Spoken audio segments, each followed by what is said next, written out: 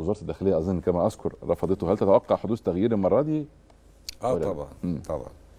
اولا آه، التغيير ينبع من إنه هذا القانون يستند بالأساس إلى نصوص الدستور. مم. وحتى التعريف المواطنة جاي من الدستور. و أنا بس هذكرك بالنائبه المحترمه امنه نصير كانت قالت رأي إن خ... إن إلغاء خانة الديانة هيسهل في عملية اختلاط الأنساب. اختلاط أنساب إيه يا عم؟ اختلاط أنساب إيه؟ ده الواحد عشان يروح يتجوز واحدة بيسالوا على أبوه ويسالوا على أمه وخالته متجوزة مين وبيشتغل فين؟ جرى إيه يا أستاذ عمرو. هو يعني مثلا اللي بيتجوز ده بيخش يشتري حاجة من عمر أفندي ويخرج؟ وجيب شهادة من الكنيسة إن مش لا. حاجة. يعني جواز. إحنا مسلمين مع ما بعض في ناس بيحبوا بعض بيتجوزوا كده عادي بابا. لا ما اللي بيتجوزوا عادي دي مفيش مشكلة بقى. إنما لما يكون في جواز بصحيح بقى ما إحنا بنتكلم بقى بصراحة. حد جاي يتجوز بنتي بسأل على أبوه بسأل على أمه وإخواته وخالته دخلت السجن وعمه مش عارف راح فين. بنعرف البيانات كلها ونفس الحكاية بالنسبة للعروسه إحنا هنضحك على بعض.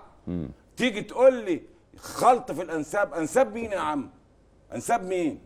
ده الواحد علشان يجوز بنته بيعمل interview وبعدين قبل ال interview بيروحوا يزوروا أهله وأهله يزوروهم ويجيبوا هدايا لبعض ومش عارف مين عملت إيه.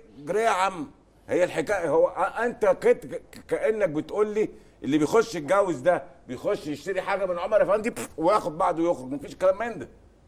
فالخوف من إنه الزواج زي ما واحد بيقول لي بس هي دكتوره امنه نصير من حقها تقول رأيها كنائبة يعني لا ما آه طبعا يعني. هو يعني أنا مش من حقي أقول رأيي. هي من حقها تقول رأيها. وأنا مش من حقي أقول رأيي؟ آه، حاجة غريبة قوي. أيوه أنا من حقي أقول رأيي. هل في جواز زيجة مصرية محترمة بتحصل من غير ما العريس بيسأل على العروسة. والعروسة بتسأل على العريس. أصله وفصله من إيه. حافظ بيه في في كده؟ ولا هو بيخش يخطفها ويطلع اوب ده طلع مسيحي اوب أمثال. ده طلع مسلم. لا مفيش كلام من ده. طب ده مش مش يساهم في زيادة الزواج العرفي؟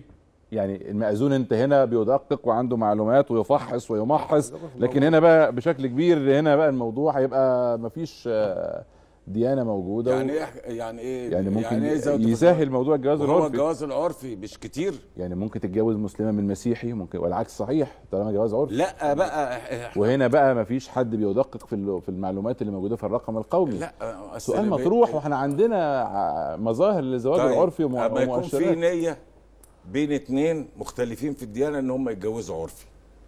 بيبص كده في البطاقه آه دي مسلمة لا مش هتجوزها. ده مسيحي لا مش لا يا حبيبي مفيش كلام من ده. ده هم بيبقوا متفقين على الجواز العرفي سواء كان بقى يهودي مسلم مسيحي متفقين على كده. إنما خانة الديانة مش هتمنع إن هم يتجوزوا عرفي هتمنع. الزواج العرفي غير معلن بطبيعته. والجواز العرفي في الغالب جواز سري. فهل بقى تتصور إنه في الجواز السري يتم الإفصاح وتقديم البطاقة والرقم القومي والري... لا مفيش كلام. يعني دلوقتي يا سياده النائب بعد ما تتشال خانة الديانة هل هذا القانون يعني هيتيح لأي مواطن قبطي؟ يعني زي ما قال سياده المستشار مثلا إن يتولى الوزارات السيادية زي الخارجية والداخلية وما شابه ذلك؟